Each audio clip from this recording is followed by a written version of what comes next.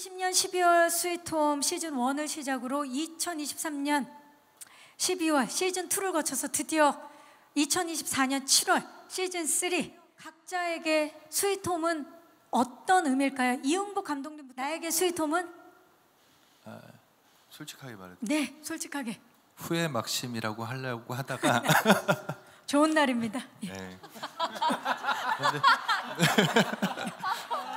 솔직하게 말해 네 솔직하게 후회 막심이라고 하려고 하다가 좋은 날입니다. 예. 네. 근데, 근데 다 후회는 할 수 있잖아요. 근데 저는 진짜 가족, 그러니까 스위트홈 말 그대로 스위트홈이 된 것 같아요. 그러니까 스위트홈.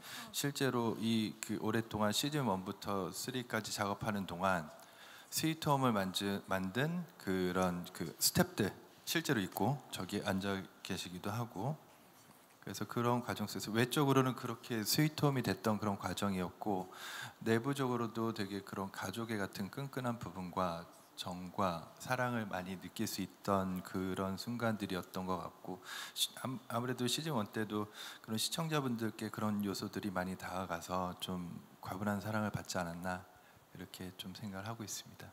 이진욱 씨 나에게 스위트홈은 또 생각하니까 울컥합니다. 네. 스위트홈은 스위트홈이 됐습니다. 저에게는. 네.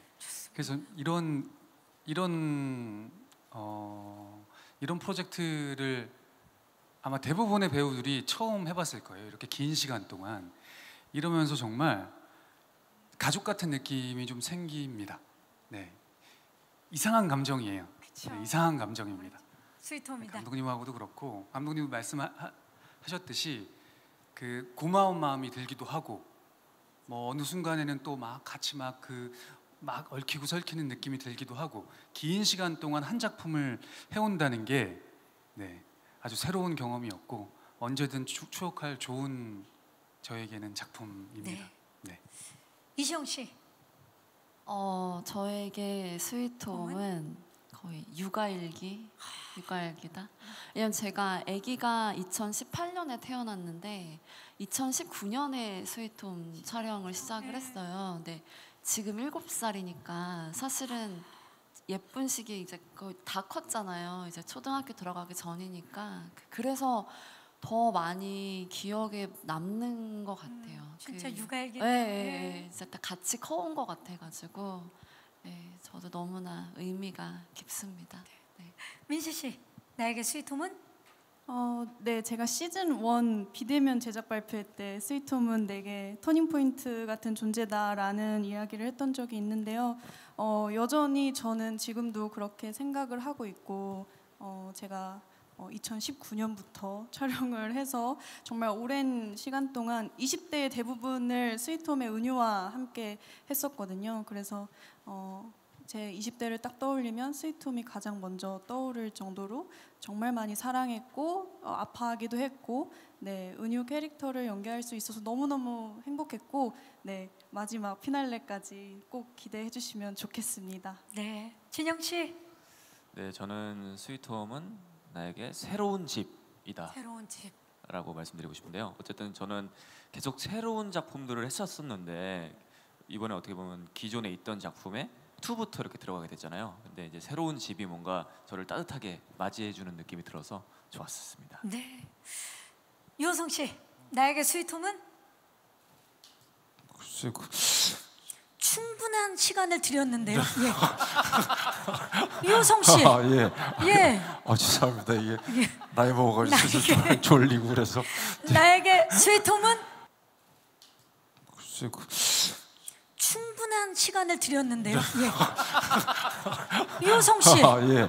예. 아, 죄송합니다. 이게 예. 나이 먹어가지고. 졸리고 그래서.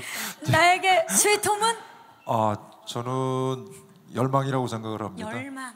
아, 제가 이거 스위트홈 투스리를 작업하면서 개인적으로 배우로서 아, 정말 연기를 잘 하고자 하는 열이나 열망이 없으면 아마 그 열정과 열망이 없으면 연기를 하지 말아야 된다고 생각을 하는데 아, 그 열정이나 열망을 이렇게 좀 찾은 찾게 해준 작품입니다. 아아 좋습니다. 오정세 씨 예, 빨리 얘기하겠습니다. 네. 나에게 스위트홈은 네, 스위, 예, 스위트홈은 어, 새로운 세계, 새로운 놀이터였다.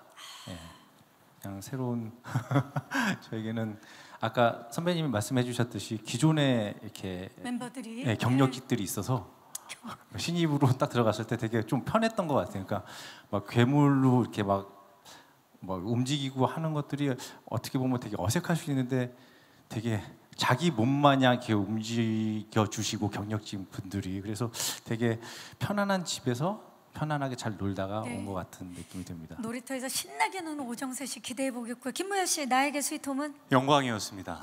예, 어, 이 거대한 세계관에 어, 함께 참여해서 마지막까지 함께 할 수 있어서 영광이었고요. 또 개인적으로 시즌 1을 밤새가면서 봤던 어, 나름의 팬이었기 때문에 그 팬이 또 지금 생각해 보니까 시즌 2, 3에 참여하게 돼서 이 마지막까지 함께 했다라는 것이 저한테는 큰 영광이었던 것 같아요. 또 앞서 말씀드렸던 것처럼 좋은 배우들, 좋은 스태프들과 함께 할 수 있었던 시간 역시 그렇고요.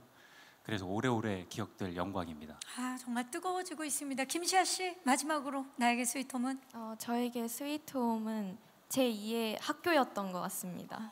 네, 제가 그때 촬영할 때 중학생이었는데 어, 이제 스위트홈 촬영 현장으로 약간 등교하는 기분으로 어, 어, 되게 재밌게 약간 학교에서 현장 체험 학습 가는 것처럼 매 현장이 그랬던 것 같습니다. 그렇죠. 그리고 우리가 학교에서 인생을 살아가는 데 있어서 갖춰야 될 모든 것들을 배우기 때문에 또 제2의 학교처럼 이곳에서 많은 것들을 배우지 않았을까 싶습니다.